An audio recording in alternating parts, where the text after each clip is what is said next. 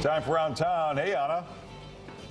Good morning. We're at Acquisitions in Hinsdale. This gallery is ho hosting Robert Fleischman, who's standing here next to me, who has had an incredible music career and art career and never stops. Good morning, Robert. Morning. Okay, so before we showed what you've been doing lately on a tablet, but I heard that this was one of your first works of art. Tell me a little bit about this No, one. um, I traditionally did um, collage where I would cut out things. Yeah. And uh, and in the early days, I'd cut out like little tiny individuals with a little X-Acto knife and Yeah. everything, and then I made collages about this big.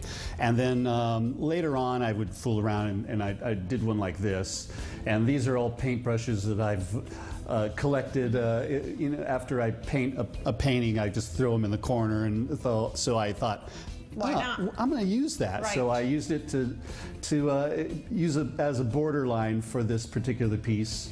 And I love the And then I, I, I was at a bar and they were playing bingo, and I uh, I took all the uh, bingo uh, you know things, all the little sheets, and so I had a whole stack of them, and I utilized it. And then we fast forward to this when you discovered a great app on your phone. Right. And you created this kind of art. Right. You told me you start always with the background picture. Right, I, I use a, a, a, backdrop and then I start inserting um, image on top of it.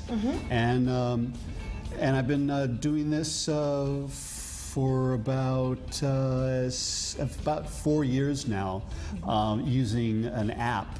Uh, I, I, I used about five different apps until I found an app that I could work with, and I just used that one app. A lot of people think I do. Uh, uh, you know, Photoshop and all this stuff, No. but I, I don't. I love So- it. And you can make it this big. You have somebody yeah, who printed for yeah. you in I Chicago. have my friend John Scott prints these out for me, and I, uh, I, I assemble them at home, and then I email them to him, and then he, he prints them out for me. But I, I go there and I check it out to see if it's all, um, you know, all the edges are all nice and, Right, and right, everything right. like that. The opening is tomorrow here in Hinsdale, and if he looks like a rock star to you, it's because take a look at this picture. In the early 70s, he was the front man for Journey, and he worked with Kiss, and you wrote music for SpongeBob SquarePants. yeah, I did the um, the trailer for it. Nice. Yeah. And so this is, do you do half and half, or is this kind of like your plan B? Well, it's, when I was 30, I decided that uh, envisioned myself as a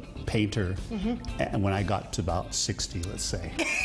so anyway, I, I did it. Yeah. So that's what I do now. I love it. And um, I'm working on an electronic album right now because I You're for six years. in Spring Awakening soon. Six years I haven't done music because I was tired of the format of guitars and Cool. everything, and so uh, I changed the template up. You know. So keep your eye out for him and his Yeah. music as well. We're going to send it back to you, Mike.